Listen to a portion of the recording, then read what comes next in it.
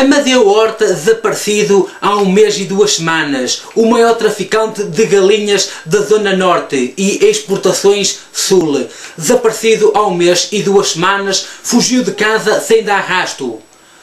Procura-se informações deste suspeito. A última vez que o foi visto foi a flutuar na praia fluvial de Santa Maria da Feira. Nunca mais o encontrar paradeiro.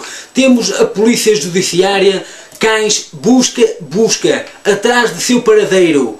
Não o conseguimos encontrar, excepto a casa de Amadeu Horta, no qual encontramos equipamento de alta tensão. Como podem ver aqui já a seguida. Como podem confirmar, tem aqui material potencial de Amadeu Horta. Tudo mais baixo nível para o caçador de galinhas. Até a sua touca ele consegue ter aqui. Erva, cannabis.